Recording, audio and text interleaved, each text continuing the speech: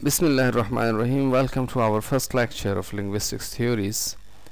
Uh, and today's topic is Introduction to Formalism. Background first. The word formalism contains word form which mainly focuses on structure.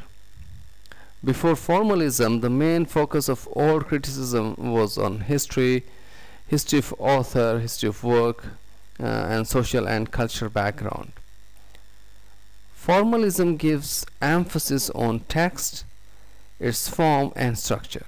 According to formalism, readers have nothing to do with author and background information. For example, a reader is reading a novel so while reading he will focus on text on word formation coinage and structure and not on author and his biography.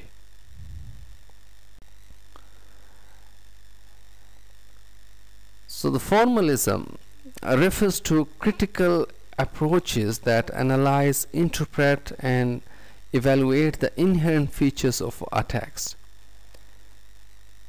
these features include not only grammar and syntax but also literary devices like meter and tropes.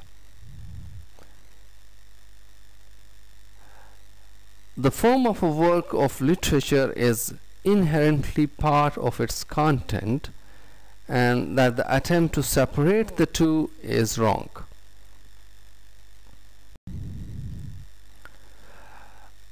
the history of formalism uh, it started the formalism started in Russia in early 20th century and there were two groups uh, Moscow linguistic circle that was established in 1915 and, and the main figure of that group was Roman Jakobson it's written with J but it's pronounced as Ja Jakobson and second group was OPOYAZ and the main figures were in that group uh, Boris Eichenbaum, uh, Victor uh, Shklovsky and Yuri Tynyanov it's very difficult you know because they are not English names.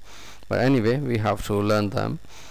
And the studies and debates of these two groups uh, they pave the way for formalism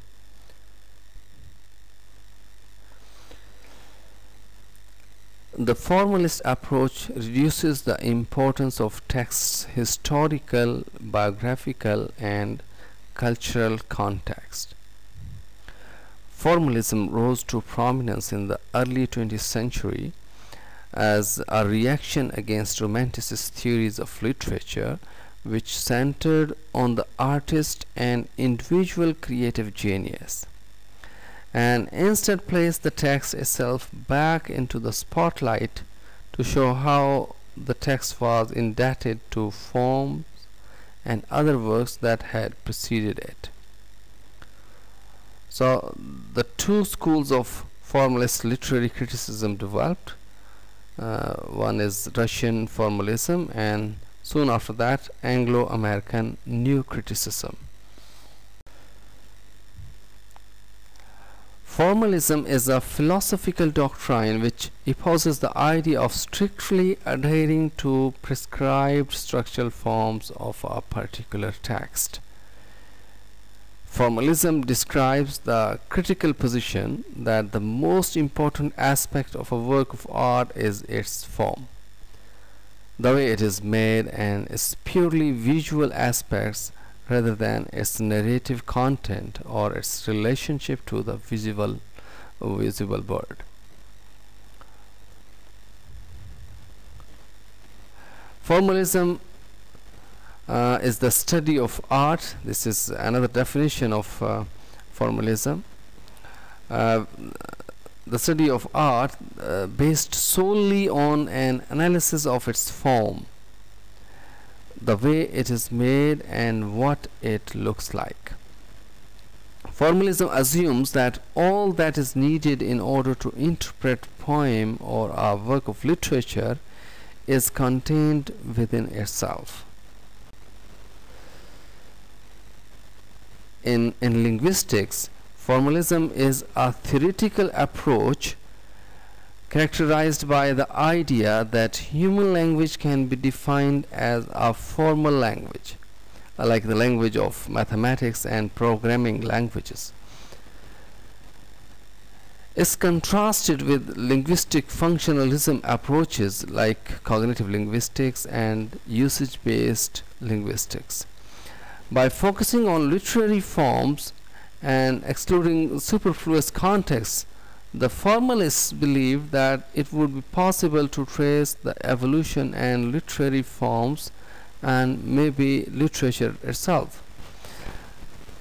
Formalism is important uh, because after this theory other theories came into being like uh, new criticism, structuralism and post-structuralism. So the formalism is paved the way for the rest of the theories after the, after that.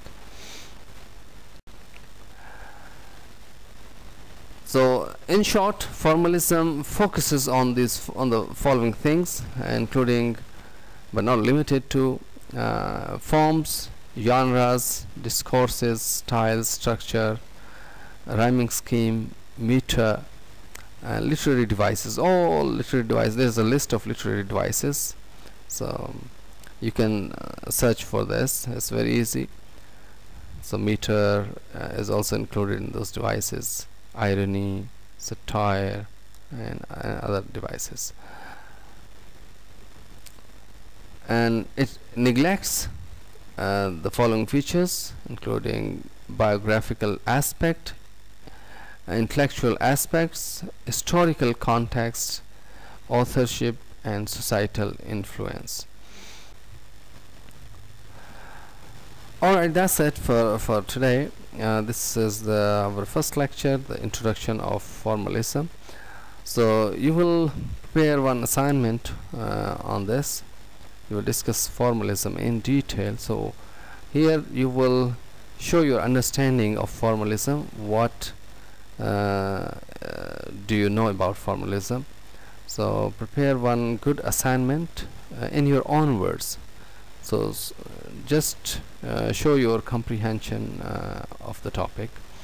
And in the next part of this uh, lecture we will uh, cover we will talk about Roman Jakobson um, because uh, uh, he is the main um,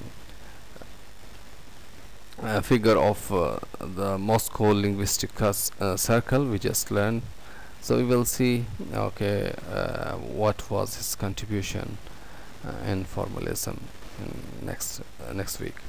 Uh, thank you very much for uh, your patience and for listening and see you in next lecture. Take care